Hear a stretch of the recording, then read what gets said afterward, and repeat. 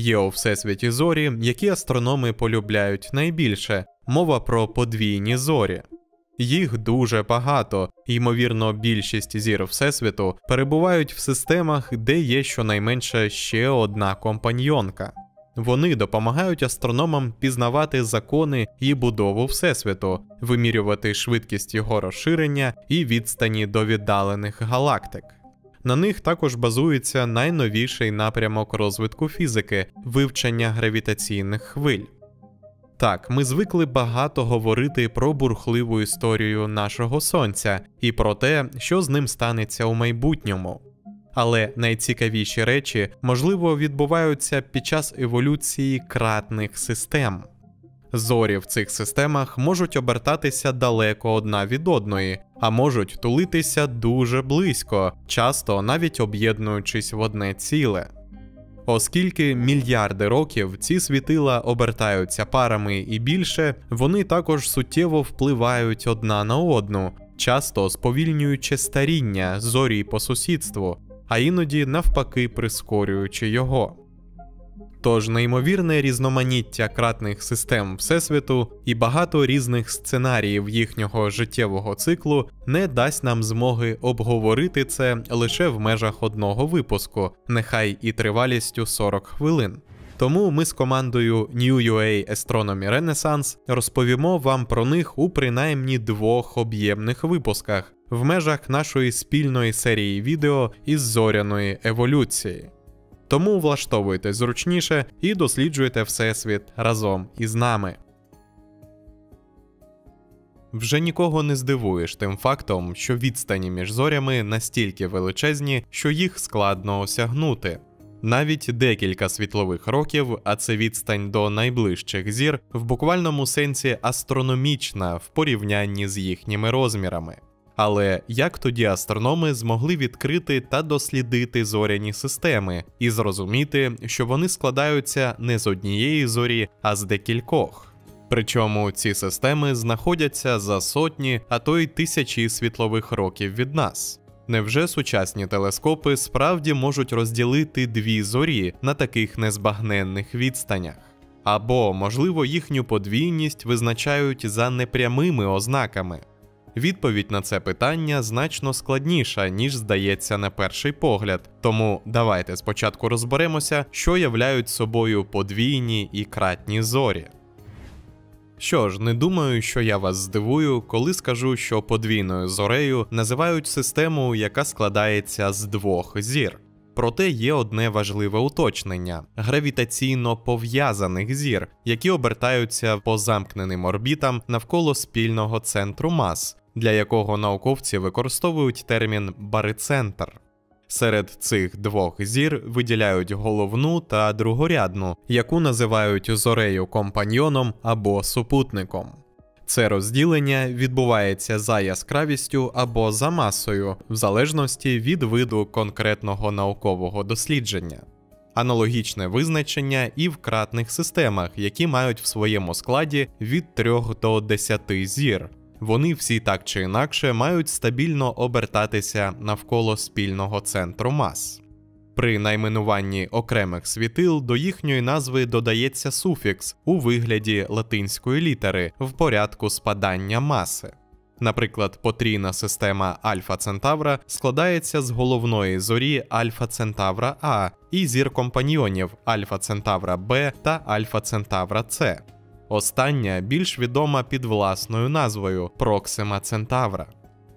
Окрім фізично подвійних зір, які насправді є подвійними, існують також оптично подвійні зорі, які такими не є.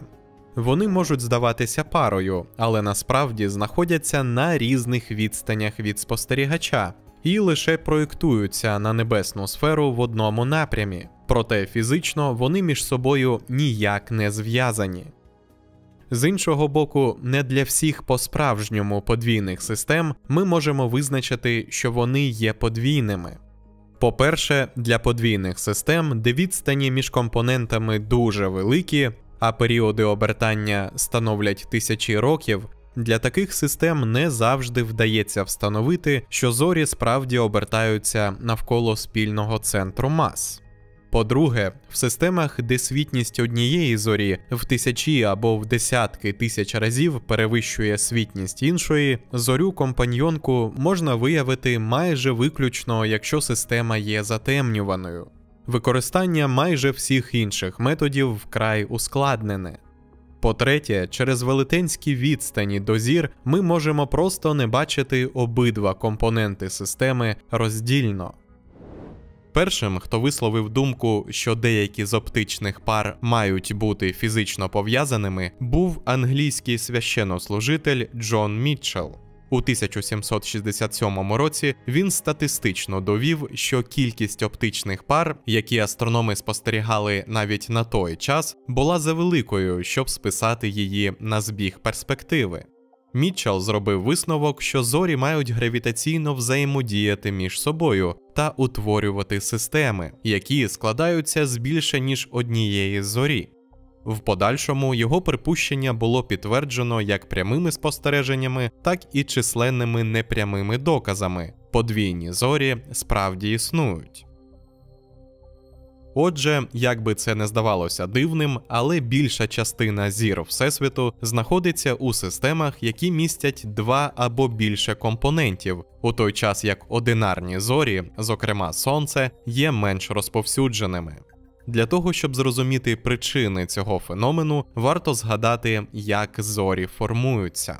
Наразі науковці мають дві основні теорії утворення подвійних зір, кожна з яких описує кілька сценаріїв розвитку астрономічних подій. Найпростішим з них може здатися утворення подвійної системи з двох одиночних зір, які випадковим чином об'єдналися в систему.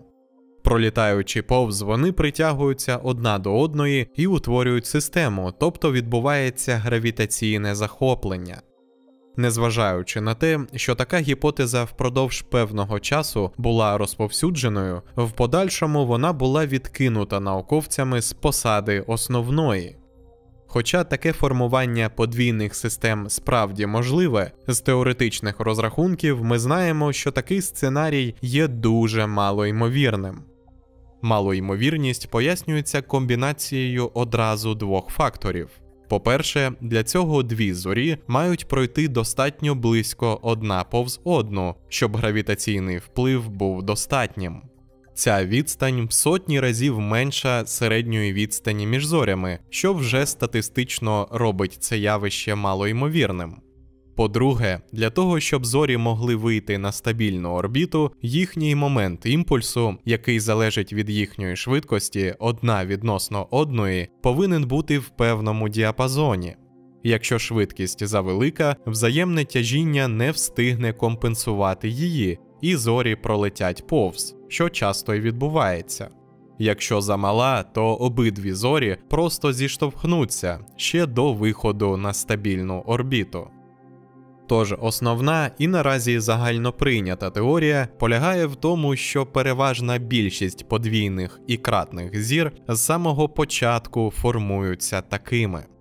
В першому відео цієї серії ми розповідали про молекулярні хмари, в яких утворюються сотні областей підвищеної густини. Саме ці області в процесі формування поступово зливаються в декілька більших областей, що й формують зорі та планети. Оскільки вони розташовані на великій відстані одна від одної до кількох світлових років, то за час формування не всі найбільші області концентрації можуть злитися в одну. Відповідно, найбільш ймовірним сценарієм утворення кратної системи або навіть повноцінного невеликого зоряного скупчення є пряме зародження із молекулярної хмари.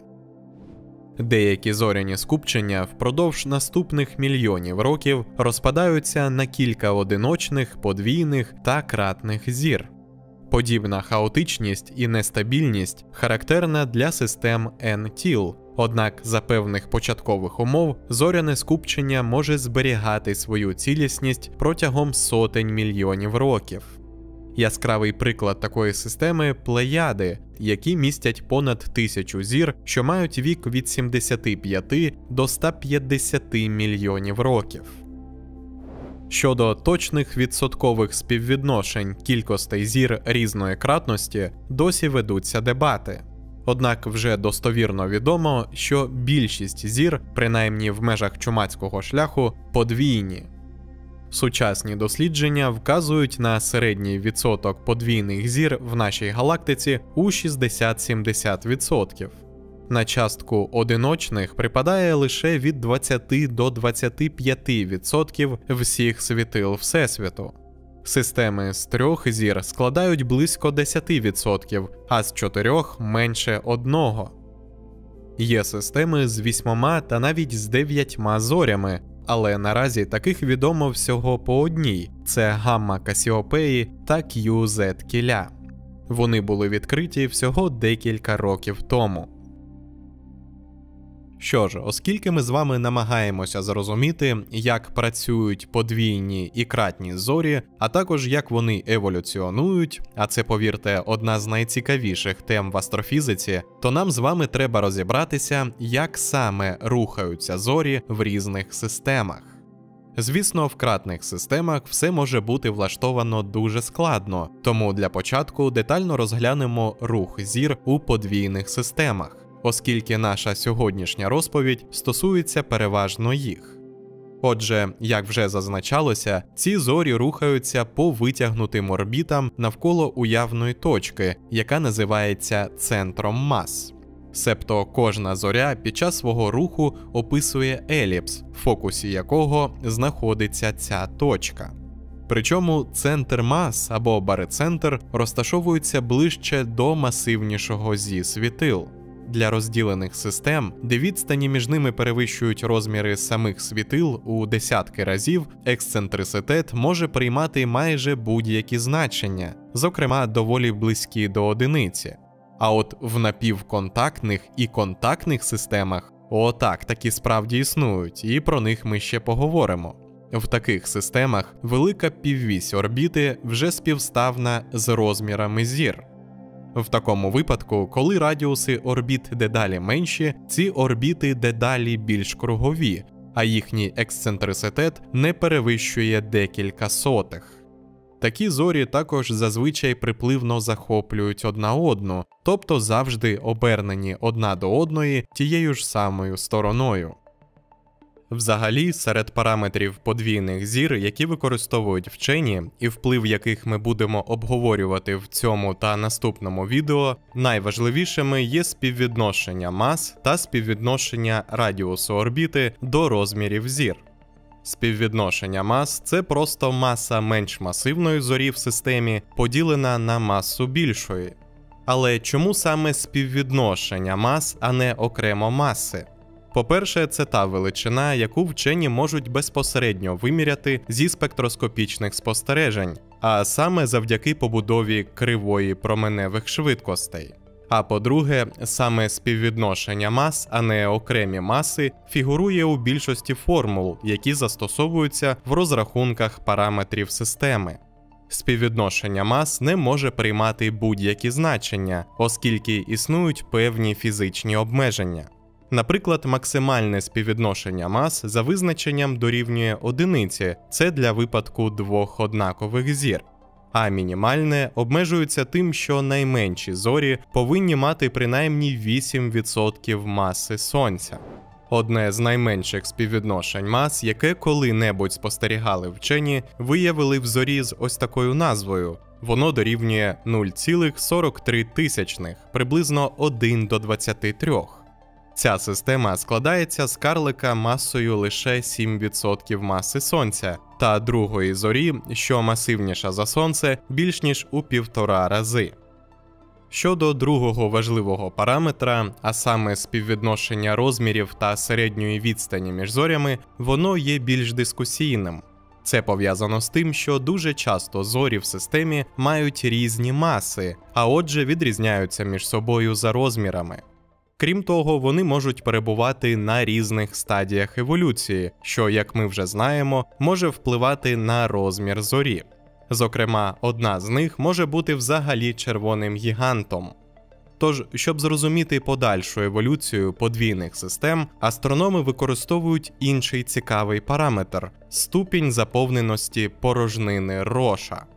Так, це справді звучить трохи страшно, але повірте, саме за цим стоїть найцікавіше, що відбувається в подвійних системах. Тому давайте розбиратися. Порожнина роша це ще одна уявна штуковина та один з ключових термінів у розумінні еволюції подвійних зір. Названа вона на честь французького астронома Едуарда Роша. Простими словами, це область простору навколо зорі, яка певною мірою обмежує її максимальні розміри. Тобто, якщо світило збільшиться настільки, що перевищить за розмірами цю межу, то верхні шари зорі можуть почати падати на іншу зорю. Справа в тому, що в подвійній зоряній системі діють не дві, а одразу три сили: гравітаційне тяжіння обох зір та відцентрова сила. Зауважу, що ми розглядаємо специфічну систему відліку, де головними об'єктами є обидві зорі. В результаті дії цих трьох сил утворюється та сама уявна порожнина, яка складається з двох краплевидних половинок. Як бачите, ці половинки об'єднуються хвостами в певній спільній точці. Одразу зазначимо, що ця точка не є центром мас, як може здатися на перший погляд, то дві різні точки. Вони справді можуть співпадати, але лише у випадку, коли обидві зорі мають однакові маси. В загальному ж випадку центр мас ближчий до центру більш масивної зорі, а ця точка ближче до менш масивної. То чим насправді є точка сполучення двох порожнин роша? Що ж, це ніщо інше, як точка Лагранжа L1. Якщо ви досвідчений глядач Всесвіт UA, то знаєте про що йде мова. Якщо ні, то в двох словах. Кожна система двох тіл, тобто подвійні зорі, або система Земля-місяць та навіть Земля-Сонце, всі вони мають п'ять особливих точок, які називаються точками Лагранжа. Ці точки особливі, тому що в них гравітаційні сили обох тіл та відцентрова сила врівноважують одна одну. Хоча існують цілих 5 точок Лагранжа, ми їх всі розглядати не будемо, оскільки у подвійних зоряних системах нас цікавить переважно L1, також відома як внутрішня точка Лагранжа. Саме вона об'єднує в собі дві пелюстки роша, і саме тут сили тяжіння двох зір та відцентрова сила врівноважуються. І можливо, ви вже здогадалися, що саме точка L1 відіграє ключову роль, коли мова заходить про перетікання речовини з одного світила на інше. Втім, рівновага сил поняття доволі умовне, оскільки вона в цих точках є нестабільною. При мінімальному відхиленні від точки L1 різниця сил буде притягувати до однієї з зір, Причому, чим більше віддалення від точки, тим більша ця результуюча сила. З аналогічних причин нестабільними є точки L2 та L3, а точки L4 та L5, які ще називають трикутними, стають стабільними лише за великого співвідношення мас, як в системі Сонце Юпітер. Отже, всередині кожної з краплевидних половинок домінує гравітація однієї зорі, точніше, комбінація гравітації та відцентрової сили. А розмір цих половинок залежить від маси обох компонентів системи та відстані між ними. Надалі під фразою порожнина роша ми матимемо на увазі саме половину цієї порожнини, яка відповідає тій чи іншій зорі. Тож в подвійній системі зоря може мати три ступені заповненості своєї порожнини роша. Вона може бути глибоко всередині неї, або ж зоря може заповнювати свою порожнину роша чи навіть переповнювати її, тобто виходити за її межі. І саме ці ступені заповненості для двох зір в значній мірі визначатимуть їхню подальшу еволюцію подекуди навіть більше, ніж початкова маса кожної зорі. Варто зазначити, що в багатьох випадках розмір порожнини роша також обмежує розмір самої зорі, оскільки у випадку розширення за межі порожнини її атмосферу почне зривати гравітацією компаньйонки. Друзі, вже третє відео поспіль спільно з командою New UA Astronomy Renaissance ми детально розкриваємо вам зоряну еволюцію, тож настав час розказати і про сам Ньюар. Сьогодні це спільнота вже з 30 ентузіастів-волонтерів, які щоденно працюють над відродженням суспільного інтересу до астрономії, роблять цю науку доступнішою та сприяють реформі освіти та науки в Україні. Можливо, для когось усе це здається надто складним та неможливим, однак уже понад півтора року нюарівці не зупиняють ні труднощі, ні навіть власні невдачі. Для досягнення своєї мети їхня команда активно працює над декількома напрямками. Вони пишуть і поліпшують статті в астрономічному розділі української Вікіпедії, організовують соціальні проєкти та освітні курси, котрі відкривають двері до світу астрономії для всіх тих, хто прагне пізнати його глибини. І найважливіше проводять наукові дослідження з використанням даних космічних телескопів, які дають можливість не лише здобути нові знання, але й зробити свій внесок у розвиток української астрономії. Астрономія це не просто наука, це ключ до розуміння нашого місця у всесвіті. New UA Astronomy Renaissance – це ваш надійний друг, який, незважаючи на ваш вік, попередній досвід, освіту та будь-які інші соціальні характеристики, разом з собою проведе вас від вашого першого кроку до ваших власних наукових досліджень. У межах цієї серії відеороликів ньюарівці збирали і аналізували інформацію, перечитували десятки наукових та науково-популярних статей, а також створювали базові версії текстів для всіх відео. Тож підписуйтесь на їхній YouTube канал, слідкуйте за ними у телеграмі, а також долучайтесь до їхніх проєктів. Ще більше інформації про діяльність Нюар шукайте на їхньому сайті.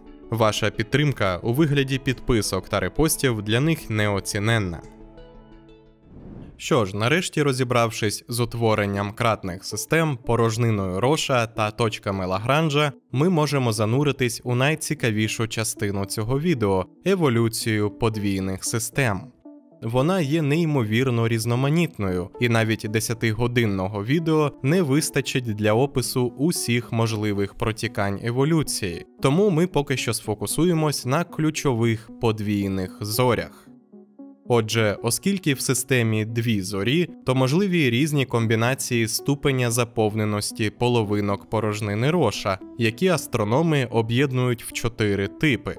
Розділені це коли обидві зорі перебувають глибоко всередині порожнини роша. Напіврозділені, коли одна зоря все ж таки заповнює або майже заповнює свою пелюстку. Контактні, коли обидві зорі заповнюють порожнину роша, і надконтактні це коли обидві зорі переповнюють свою порожнину роша. Причому впродовж своєї еволюції кожна зоря системи буде змінювати свій розмір, а отже, може змінювати категорію. Уявімо систему, у якій дві зорі перебувають на стадії головної послідовності та мають великий орбітальний період. Відповідно, між ними велика відстань, яка значно перевищує розміри цих зір. Одним з чудових прикладів такої системи слугує подвійна зоря Ета Касіопеї. Вона була відкрита ще Вільямом Гершелем у далекому 1779 році. Через період обертання у 480 років з того часу вона зробила менше ніж пів оберту. Відстань між двома світилами сягає близько 70 астрономічних одиниць, це майже вдвічі більше за велику піввісь орбіти Плутона. Зорі настільки віддалені між собою, що їх можна побачити навіть як два окремих об'єкти. Тож в такому випадку вони обидві не заповнюють порожнину роша і довгий час еволюціонують незалежно одна від одної, практично не взаємодіючи. Причому не обов'язково, щоб зорі мали періоди у сотні років, щоб вважатися розділеними. Такими є значний відсоток всіх подвійних зір з періодами від кількох десятків діб до десятків років. Щодо напіврозділених зір, то вони є проміжною ланкою між контактними та розділеними, і в них вже відбуваються доволі цікаві процеси. В таких системах зорі доволі близько розташовані одна до одної, що відразу відображається на обертанні. Їхні орбіти вже майже ідеально колові, і вони обидві часто знаходяться в припливному захопленні. Цікаво, що якщо дві зорі мають дуже різні температури поверхонь з різницею у кілька тисяч градусів, то поверхня однієї з них починає помітно нагрівати іншу. Причому на поверхні прохолоднішої з них, в тій області, яка найближча до гарячої сусідки, з'явиться велика гаряча пляма. Її температура може на декілька тисяч градусів перевищувати температуру решти зорі, і загалом пляма може вкривати від 10 до 15% поверхні. Це явище називають ефектом перевипромінювання, воно також відоме під англійською назвою Reflection Effect, буквально ефект відбиття. Втім, англомовна версія терміну невірно відображає його суть. Поверхня зорі не дзеркало, щоб відбивати світло. Цей процес аналогічний тому, що відбувається в надрах зір, коли фотони поглинаються і майже миттєво перевипромінюються. Єдина відмінність в тому, що додатковий потік енергії йде не з надр, а від іншої зорі. Астрономи досить легко помічають цей ефект, якщо подвійна зоря є затемнюваною, тобто зорі почергово проходять між собою та спостерігачем. Всі подвійні затемнювані зорі мають два різні мінімуми яскравості, які відповідають затемненням однієї зорі іншою. А коли одна зоря нагріває іншу, рівень затемнення буде менш глибоким за рахунок значної яскравості самої плями. В деяких екстремальних випадках ефект від плями може бути навіть сильнішим, ніж від затемнення. Тому загальна яскравість системи навіть під час затемнення зростає відносно позазатемнюваної фази. Проте, безумовно, найцікавіше, що може відбуватися в напіврозділених системах, це перетікання речовини через ту саму першу точку Лагранжа. Коли одна зоря майже заповнює свою порожнину роша, вона перестає бути гарною кулею плазми і помітно деформується. Через гравітаційний вплив зорі компаньонки вона ніби витягується. В певний момент ніс зорі витягується настільки, що критично наближається до першої точки Лагранжа, внаслідок чого гравітація другої зорі починає перетягувати газ на себе. Таке перетікання речовини ще називають консервативним або псевдоконсервативним, оскільки загальна маса системи фактично не змінюється. Але при цьому змінюється розподіл маси, тому що одна зоря її втрачає, а інша отримує.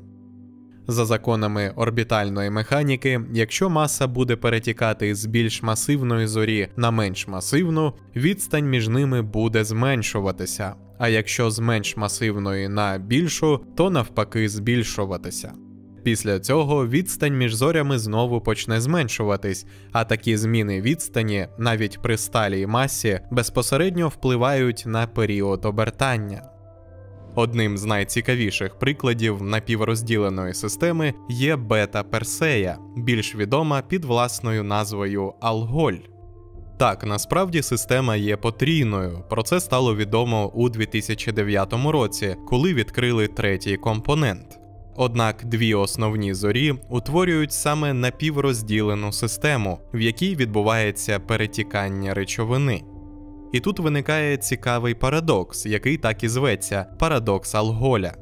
Справа в тому, що менша за масою зоря цієї системи еволюціонувала вже у категорію субгіганта, в той час як більш масивна чомусь знаходиться на більш ранньому етапі еволюції. Але хіба не має бути навпаки? Згідно з сучасними уявленнями про зоряну еволюцію, масивніші зорі старіють і помирають швидше. То що ж тут відбувається? Насправді відповідь на це питання ми вже знаємо перетікання речовини. Його темп не надто високий, порядка однієї мільярдної маси сонця на рік, і це є типовою швидкістю для подібних систем. Але не забуваємо, що зорі можуть жити мільярди років.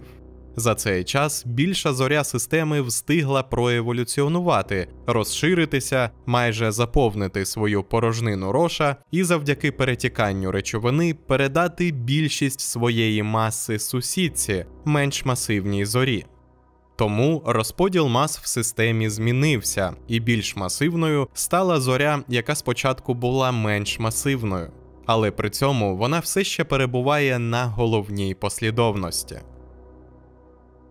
Отже, як ми вже встигли пересвідчитись, навіть якщо система не контактна, наявність другої зорі дуже сильно впливає на еволюцію кожного зі світил. В системах, які називають контактними, також відбувається перетікання речовини, але значно інтенсивніше, ніж в напіврозділених. Темп перетікання може сягати кілька мільйонних часток маси сонця на рік, що вже на три порядки більше, ніж в попередньому випадку. А в деяких видах подвійних систем темп перетікання речовини може сягати навіть декілька тисячних маси сонця на рік. Внаслідок значно більш інтенсивного перетікання зорі швидше змінюють свої маси. Це означає, що коли одна з них еволюційно збільшиться у розмірах, то майже миттєво за зоряними мірками скидає зайву масу іншій. Таким чином, еволюція однієї зір в системі сповільнюється, а от іншої навпаки пришвидшується. Ще одне явище, невластиве розділеним та більшості напіврозділених зір, але при цьому дуже характерне для контактних та надконтактних, це поступове зменшення радіусу орбіти. В розділених системах зменшення загального моменту імпульсу відбувається вкрай повільно, здебільшого за рахунок в'язкого тертя о міжзоряний газ, який часто самі зорі і виділяють у вигляді зоряного вітру. Однак існують і інші методи гальмування. Наприклад, одна з формул загальної теорії відносності доводить, що гравітаційні хвилі переносять не тільки енергію, а ще й кутовий момент. Тобто гравітаційні хвилі теж здатні гальмувати зорі і змушувати їх наближатися одна до одної. Втім, для нормальних зір цей ефект малий порівнянні з іншими. Суттєвий вплив гравітаційних хвиль на зменшення радіусу орбіти відбувається лише в системах з двох компактних об'єктів. Інший спосіб для подвійної зорі втратити кутовий момент пов'язаний з магнітним гальмуванням. Будь-яка зоря з конвективною оболонкою, наприклад, сонце, уповільнює своє обертання через взаємодію зоряного вітру з її магнітним полем. Це, власне, і пояснює малу швидкість обертання сонця навколо своєї осі. Те саме відбувається і у подвійній системі. Обидві зорі взаємодіють між собою не тільки гравітаційно, але й через електромагнітне поле. У будь-якому разі, всі зазначені типи гальмування працюють дуже повільно. Навіть впродовж тривалості життя зір в більшості випадків зміни за рахунок них є майже непомітними. Але в контактних системах все інакше. Тут є струмінь речовини, який є неспівставно густішим за міжзоряне середовище, і між ним та другою зорею відбувається в'язке тертя. За таких обставин зміна радіусу орбіти може складати від кількох відсотків аж до зменшення в декілька разів, і навіть потенційного злиття двох зір в одну. Яскравим прикладом такої системи є бета-ліри, прототип одноіменного типу подвійних затемнюваних зір. В цій та подібних її системах обидві зорі є помітно витягнутими назустріч одна одній. Внаслідок перетікання речовини ця зоря вже помітно змінила свій період. За 37 років орбітальний період збільшився майже на 50 хвилин. А за понад 230-літню історію спостережень зміна склала понад 1,5% за такий мікроскопічний за зоряними мірками проміжок часу. Що ж, існують також подвійні системи, які взагалі можуть здатися чудернацькими і навіть фантастичними на перший погляд. Це системи, у яких обидві зорі є більшими за їхні порожнини роша. У такому випадку їхня фотосфера, тобто нижній шар зоряної атмосфери, огортає одразу обидві зорі. При цьому їхні температури майже однакові, розміри та маса також, а форма подвійної системи нагадує гантелю або невдало зліпленого сніговика. Такі подвійні зорі називають надконтактними або зорями зі спільною оболонкою.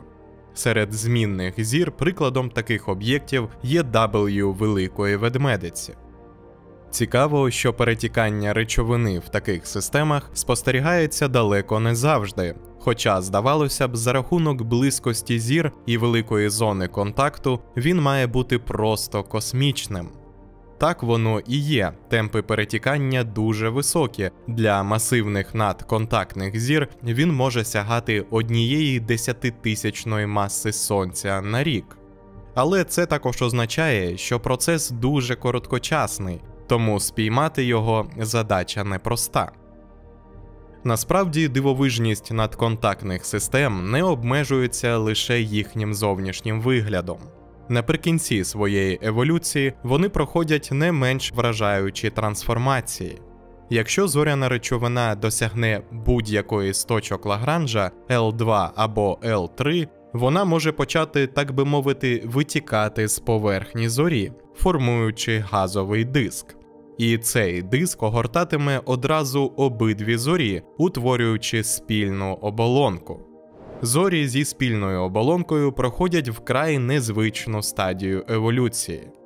Справа в тому, що обертаючись одна проти одної, обидва компаньйони взаємодіють також з оболонкою, що викликає тертя.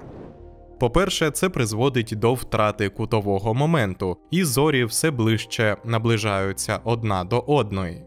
А по-друге, в'язке тертя нагріває оболонку, що подекуди призводить до її скидання. Такі зорі розташовані вже дуже близько одна до одної, відстань між ними може бути меншою, ніж сума їхніх діаметрів. Себто фактично вони вдавлюються одна в одну. При цьому тертя стає ще сильнішим, і воно дуже швидко сповільнює обертання зір. Як наслідок, радіуси орбіт стають все меншими і меншими, а в певний момент оболонка руйнується разом з зовнішніми шарами зір та викидається у відкритий космос. Врешті-решт, від зорі, з якої почалося перетікання, подекуди залишається лише ядро та найближче до нього шари. Але існує і інший, більш драматичний фінал для зір зі спільною оболонкою. Якщо енергії, яка виділялась при зближенні, було недостатньо, щоб відкинути спільну оболонку, обидві зорі зливаються в одну масивнішу. Таке явище має назву подія зі спільною оболонкою. В процесі злиття зовнішні шари зір викидаються в навколишній простір. Внаслідок цього стають видимими більш гарячі внутрішні шари новоутвореної зорі, і сумарна яскравість зростає, причому в сотні разів. Цікаво, що після злиття подекуди ядра обох зір ще довго залишаються незмінними всередині єдиної атмосфери, тож утворюється таке собі космічне яйце з двома жовтками. Це явище не таке вже й рідкісне, як може здатися на перший погляд. За оцінками астрономів, від 5 до 10% усіх зір закінчують свою еволюцію у подібному злитті. Це пояснюється тим, що зорі за час своєї еволюції змінюють ступінь заповненості порожнини роша. Навіть трапляються випадки, коли подвійна зоря проходить всі етапи від розділеної через напіврозділену до контактної, потім стає надконтактною і наостанок ще й переживає злиття. Що ж, навіть описані вище сценарії не до кінця передають різноманіття процесів, що можуть відбуватися в подвійних зорях на їхньому еволюційному шляху. Зокрема, є спосіб перенесення маси, який дуже відрізняється від інших, це так зване вітрове переповнення порожнини роша. Прикладом є міра або омікрон кита.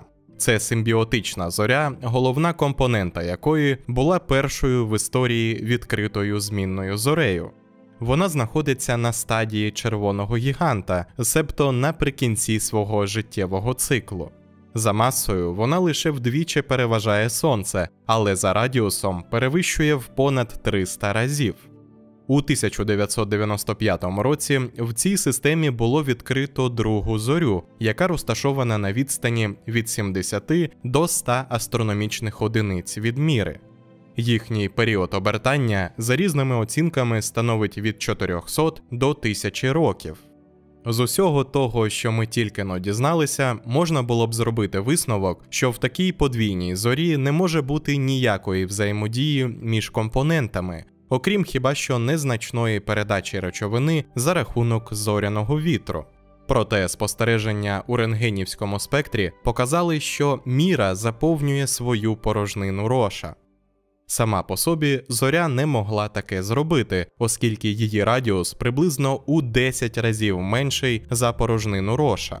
Однак було встановлено, що це міг зробити її потужний зоряний вітер, який, в свою чергу, є наслідком динамічної нестабільності в оболонці цього червоного надгіганта. Вітер має ще одну особливість: біля поверхні самої зорі він рухається доволі повільно і поступово набирає швидкість завдяки тиску випромінювання від міри. Другу космічну швидкість, необхідну для того, щоб покинути материнську зорю та її порожнину роша, він набирає, пролетівши відстань приблизно у 5 радіусів міри, що дорівнює близько двом астрономічним одиницям. Цей зоряний вітер продовжує свій рух і далі, утворюючи величезний хвіст довжиною понад 13 світлових років, який чітко видно в ультрафіолетовому діапазоні. Тобто існують розділені зоряні системи, в яких не може бути класичного перетікання речовини, однак воно відбувається в ось такий дивний спосіб. Цей тип передачі маси не варто плутати з простою акрецією зоряного вітру, це різні явища за своєю фізичною природою.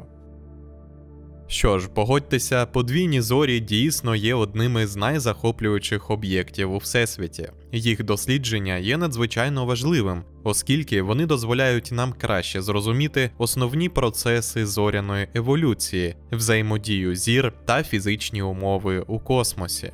Вони служать ключем до вивчення багатьох фундаментальних законів фізики. Але наша розповідь на цьому не завершується. У наступному випуску ми детально розглянемо різні стадії зоряної еволюції. Ми поговоримо про рентгенівські зорі, подвійні нейтронні зорі та системи з чорними дірами. Також зануримось у світ різних типів спалахів наднових, які є одними з найпотужніших подій у всесвіті. Окрім цього, ми обговоримо різні методи спостереження подвійних зір, що дозволяють нам отримувати нові дані та розширювати наші знання про ці дивовижні об'єкти. Тож залишайтеся з нами, адже на нас чекають нові захоплюючі відкриття. З вами був Іван, це канал Всесвіт UA і команда молодих людей, яким не байдуже майбутнє української науки. Завітайте на сторінки Ньюар, щоб дізнатися про нові цікаві проєкти. А також підписуйтесь на їхній канал на Ютубі, де можна глибше зануритись в астрономію і навчитися чомусь новому. А на цьому все. Як завжди, дякую вам, до зустрічі у наступному випуску. Бережіть себе і обов'язково підтримуйте наші сили оборони. Слава Україні!